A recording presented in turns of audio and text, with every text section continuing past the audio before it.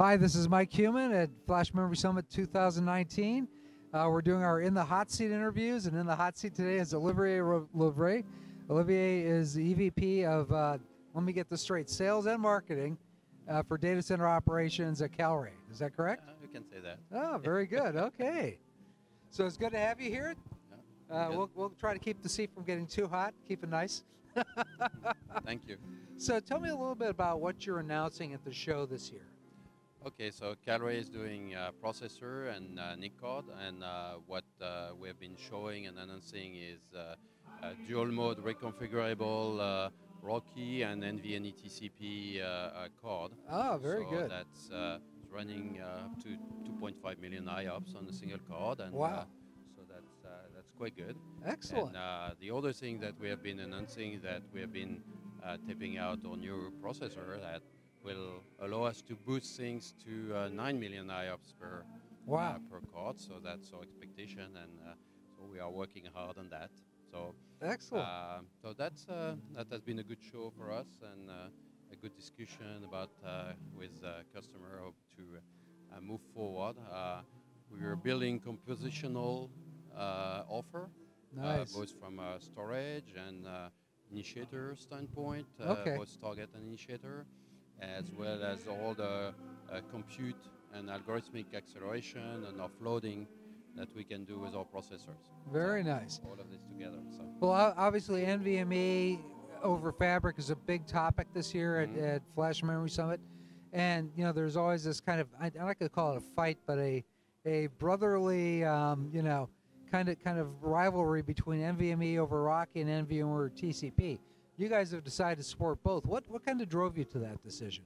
Well, I think, uh, well, first, I mean, NVMe over uh, Fabric Rockies um, took some time, I mean, to, to mature Sure. and deploy, and we have seen the need for flexibility. Yes. And our technology, because we have uh, very flexible technologies, yes. uh, allow us to do both. So you can have one card and reconfigure that one way or the other, uh, depending on what you need, and you can Right. even run both on the same chip if you wish. There's Oh, not that's a lot very of use nice. cases for that, but, but but if there was one, you could support it. That would be good. Yes, So- exactly. so that's yeah, t- telling a customer which protocol they should use is usually not not a good way to spend your time. Exactly. So that, that makes a lot of sense.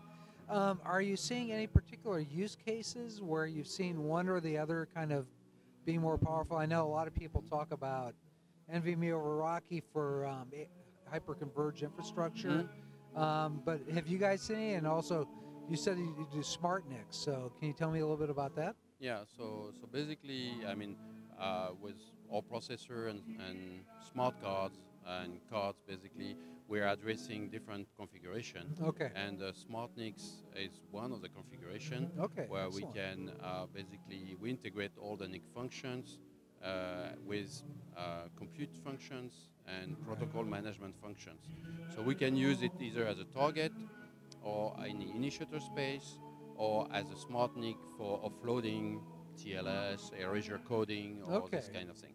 So So you could be the, the total management solution for just a box of flash enclosure, for instance. yeah, u- usually I mean the um, there is a strategy of software that is playing into this. Yes. between legacy software and new software and so on. So uh, the, the beauty of this is that we do things that are programmable in a standard way so people can migrate their software from their, for example, x86 environment Yes. to uh, some of it uh, being accelerated or offloaded on our Right. environment and depending on what's the best uh, TCO. Yeah, yeah, no, that makes perfect sense. Makes perfect sense. So, what other big trends have you seen at the show? I mean, there's a lot of talk about things like computational storage, AI, things like that.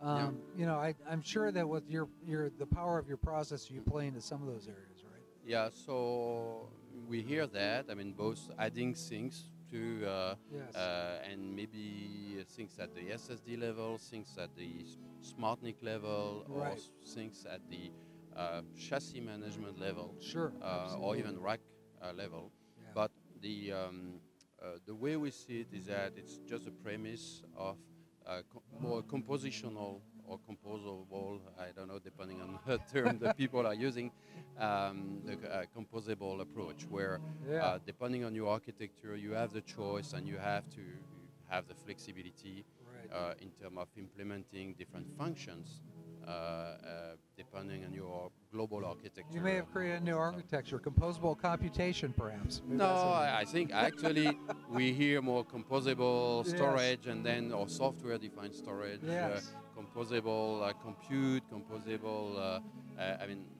eh, basically what that means is that people want to have the flexibility of migrating function in a different level of the architecture. Yeah. And disaggregation certainly allows people to do That's that part much of easier. it, but right? when, when it's come on the other side of the spectrum, there is uh, also the edge computing, which is more Yes. kind of packing everything together. yes. And this is where we believe we have a play with our new processor, is that uh, uh, packing, networking uh, management, right. uh, all the some of the compute uh, necessary uh, locally, uh, AI, both from a training and uh, from an inference standpoint Yes. to adapt to the context, and uh, being able to do also the store, local storage for And- edge aggregation. And certainly in the edge, you don't have the space and the power and the cooling capabilities. That's You have point. to just put regular servers there. So, you know, disaggregating some of that and putting into smart NICs or smart storage makes a lot of sense. Yeah. and, uh, and we keep everything under the 20 watt uh, power envelope. so- Wow. That's so impressive. That's, uh, what we are trying to do, and um, that's keep us relevant, let's say, for the edge. Yes, yes, Um, exactly. Exactly. Well, that, that's really great. Are there any other things you want to talk about that you guys are going to announce in the near future, or No, it's uh, too, too early to announce. you, you, you, have to have surprises left for, for the next trade show? Exactly. Oh, excellent. So, Well, thank, thank you you. very much, Olivier. It's great you. talking to you. Thank you.